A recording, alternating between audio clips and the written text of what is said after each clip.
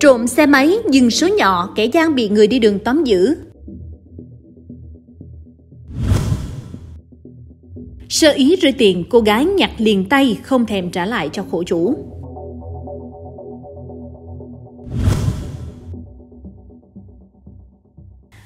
Đến hồ cá cũng không chịu buông tha.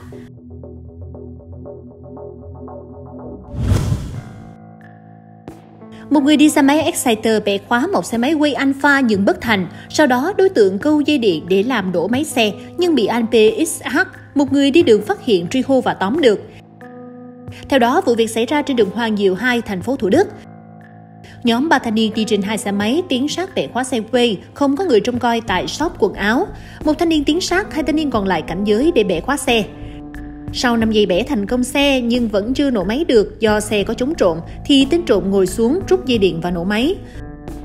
Ngay lúc này, một người dân phát hiện truy hô và đuổi theo. Chạy được một đoạn thì nhóm ba thanh niên dùng bình xịt hơi cay loại lớn, vật giống súng chĩa vô người truy đuổi, hỏng thoát thân. Ngay sau đó, lực lượng công an phường cũng có mặt xác minh vụ việc. Qua vụ việc rất may mắn không mất xe và cũng tuyên dương tinh thần đấu tranh phòng chống tội phạm của quân chúng nhân dân. Bên cạnh đó, cảnh báo người dân về vấn đề trộm cướp sau Tết.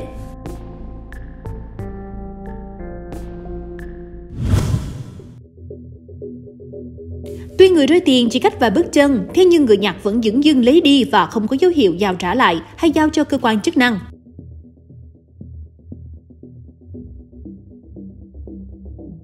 Theo đó, vụ việc xảy ra ngày 9 tháng 2 vừa qua tại Long Thành. Một người phụ nữ từ một tiệm vàng đi ra, trong lúc quay xe ra về, có sơ ý rớt một số tiền trị giá 21 triệu đồng và giấy cầm đồ.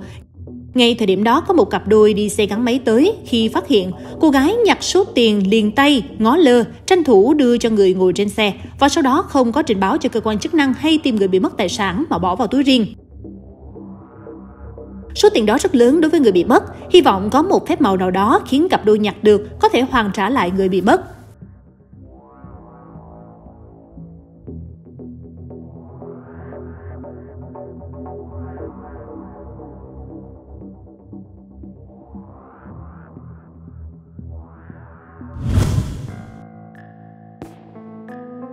Hai thanh niên khỏe mạnh nhưng lại đi trộm hồ kiến nuôi cá tại một nhà dân.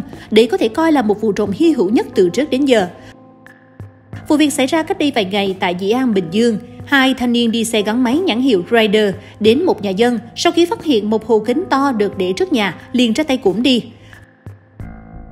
Vụ việc tuy không đáng để truy cứu, nhưng khiến gia chủ rất bức xúc và cảnh báo đến người dân cần bảo quản, canh phòng các đồ vật xung quanh nhà, nhất là share những clip camera như thế này từ Sài Gòn TV để cùng nhau phòng chống trộm.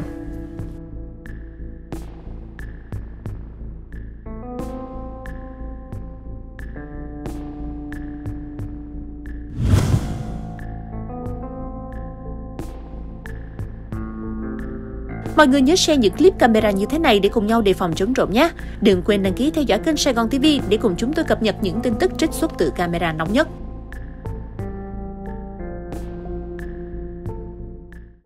Gửi ngày tin nóng cho Sài Gòn TV qua hotline 0909 660 550 để có cơ hội gia tăng thu nhập nha.